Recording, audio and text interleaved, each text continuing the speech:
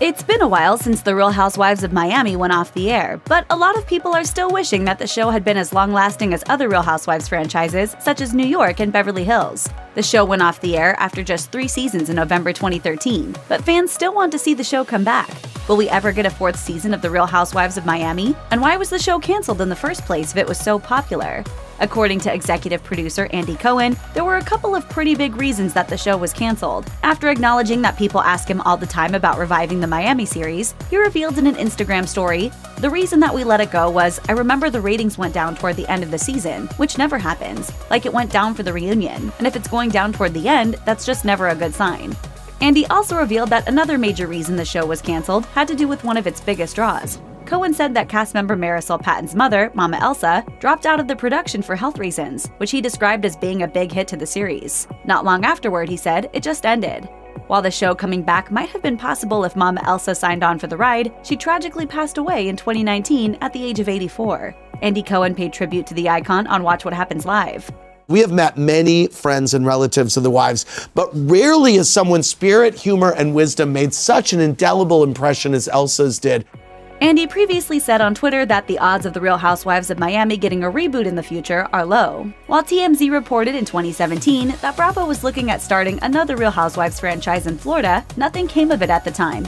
It looks like fans won't be tuning in to any Real Housewives drama in the Sunshine State anytime soon, unless the stars of other series head there for a cast vacation.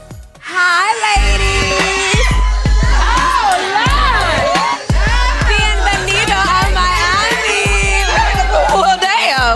It isn't only fans of the series who want to see The Real Housewives of Miami come back on the air in one form or another. In 2019, cast member Lisa Hochstein spoke to Page Six concerning her feelings about a potential reboot. Lisa revealed that she and her former co stars, Alexia Echeverria, Marysol Patton, and Adriana De Moura, have remained close. As she put it, who wouldn't be interested in a reboot? The year before, Adriana, Alexia, and Lisa had a mini reunion on their own terms, gathering at a private dinner hosted by Lisa to benefit Make a Wish Southern Florida.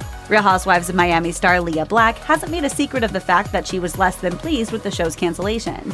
According to her, the show not working out had to do with Bravo, not the show's cast. In a 2016 episode of her YouTube show, Lunch with Leah, she discussed the show's cancellation and tried to be diplomatic about the slim prospects of the series' return. Discussing the possibility of a revival, she said, Because I'm respectful of Bravo and respectful of the network, I don't want to speak on their behalf. I just try to sidestep the question because I don't think it's my place to say anything. One of the reasons why The Real Housewives of Miami didn't manage to grab the long term success of other shows in the franchise might have to do with the fact that it wasn't originally supposed to be a Real Housewives show at all. When the show's first season was being filmed, it was reportedly supposed to be an unrelated program called Miami Social Club, a reworking of the short lived Bravo series Miami Social. After filming was completed, however, Bravo decided to turn the show into a Real Housewives franchise. Speaking to her fans, Leah said, I always feel like Miami didn't have its own identity which might have a little something to do with why it didn't stick around.